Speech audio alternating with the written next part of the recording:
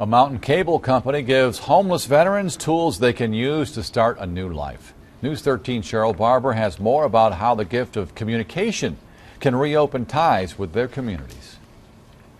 Veterans say it's amazing what a laptop can do, from looking for a job to staying in touch with their families. I had to come back here to get my life back on track. Vincent Davis tackles a job application online with a new laptop at ABCCM's Veterans Restoration Quarters in Asheville. They gave me a chance to get back on my feet. Back on his feet and possibly back in the money with a new job. I went on the online and um, about usjob.com and and I heard about it from a friend of mine up to the VA and she guide me to it, so I'm trying to put an application out. Vincent is using one of six new laptops Charter Communications has given the Veterans Restoration Quarters.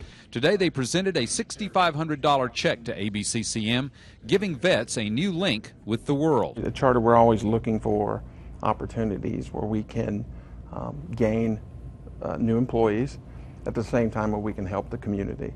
In this case, we're able to do both. Mark Spillman says the laptops can also be used to train vets for digital jobs, but they also provide an even more powerful link for veterans reaching out to their families. This is the first step. It all starts with breaking out of the isolation, reconnecting.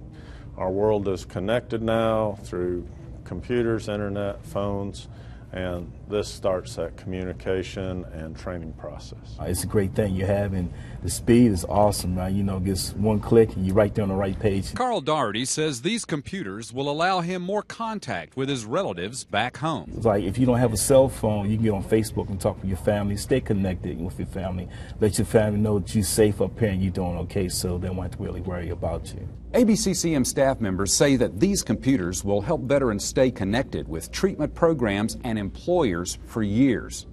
Reporting in Buncombe County, I'm Sherrill Barber, News 13.